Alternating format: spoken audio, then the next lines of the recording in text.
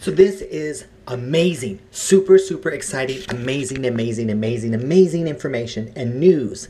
I have just experienced one of the most dramatic drops in my weight, in weight loss. Well, unfortunately, there's a catch. And that is somehow my scale got switched from pounds to kilograms.